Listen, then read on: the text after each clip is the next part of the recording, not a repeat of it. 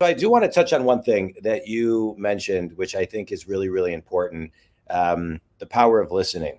And I think a lot of times people don't listen to um, to what the other person's saying.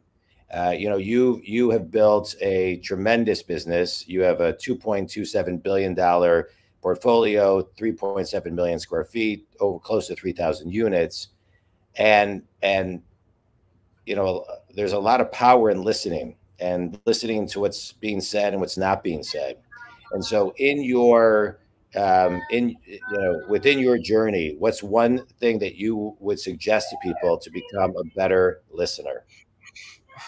Um, yeah, so listening is it's, it's I think it's a big trait. Um, I'll take you to the origin of where I developed my listening. So, for many years, I'm in the industry for about 28 years, but for many years, I was acting as an advisor, as a commercial real estate broker, focusing mainly on investment sales, structure finance, capital raise, and syndications.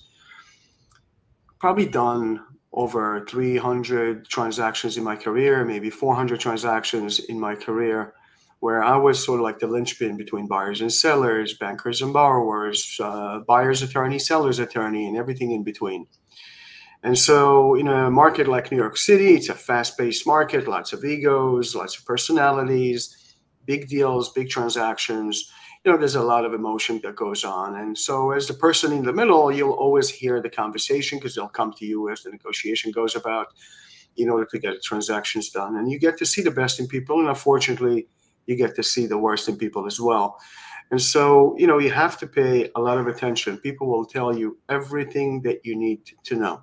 They'll tell you everything. And a lot of times when we listen, we finish the sentences of people in our heads, right? Somebody starts saying something, you're not quite clear. You might finish this information in your head. You sort of like explain to yourself what was being said. So that's the first mistake, I think, in the space of listening. If you're not clear about something, learn to ask. Learn to ask the second conversation, what do you mean by that? Yeah. What does it look like to you? We forget to do that. Now, a lot of times during conversations, we don't listen. We are already preparing our answer. That's not listening, right? That's not listening at all. That's really listening to yourself and trying to look good by coming up with an answer or coming up with an answer on the spot. It's yeah. extremely, extremely important to really, really understand what's being said in the conversation. There's always gaps, okay? And it's okay, and it should be. You should ask, tell me what do you mean by that? What does it mean like for you? Um, it's also very important to relate to people. And if you think about neuro-linguistic programming, NLP, right? I'm sure you've heard about it, Jon. Um, you know, people are divided to various groups, right? We have the auditories, we have the visuals, we have the kinesthetics. They communicate differently. And each yeah. one has a different way to relate to certain things. And in order to create a, a conversation that flows well, you want to be able to relate to the individuals you're speaking with, right? So if you're talking yeah. to kinesthetics versus talking to auditors or visuals, you want to communicate a little bit different. than the noise level starts dying out, and then you'll have a much, much clearer conversation. Um, yeah. I'll, I'll just add one more sentence, not to leave the audience confused in any way, shape, or form. Um, you know, individuals relate and see the world very differently from one another. All right. It's your job as a professional to come in and step into their world. It's much easier to step into their world than to try to bring them into yours. Sometimes you always have this back and forth, but you really, in order to understand somebody, in order to truly listen, you want to step into their world. So identifying who you're speaking with and what sort of a individual is in front of you is extremely important and really very basic.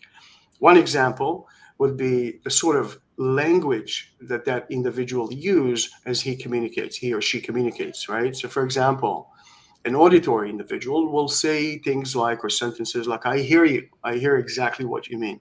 And you know that his world is more on the auditory side, and then you'll act accordingly, right? Pace, the speed of speech, and all those different things uh, differs between auditories visuals visuals tends to speak very very quickly visuals will say i see exactly what you mean right the world to them the process goes through visuals right so you want to have a lot more visuals a lot more pictures if you're pitching a presentation uh, and and less focus on maybe on numbers and figures at that early stage. And then of course you have the kinesthetics, which which requires a lot more attention uh, and a lot more patience uh, because it takes them longer to process things. Uh, it takes them a while before they'll feel okay everything with them is i feel i feel you like it's it's all a lot more personal to them. And so those are the individuals that will pay a lot more attention to your excel sheets and stuff like that. So you really want to know who you're speaking with. Try try not to try not to cut sentences off and don't finish them in your head. You'll notice that you don't always understand what the other side is fully trying to convey. So learn to ask questions 30% of your time you should listen. I'm sorry, 30% of your time you should speak, 70% you should talk. Yeah. Uh, so I know I'm not sure I said it the right way. Pardon me. No, 30%. no, you're, you're perfect. I mean, and the only thing I would add to that is, and I love everything you just said, is the person who asks the question controls the conversation.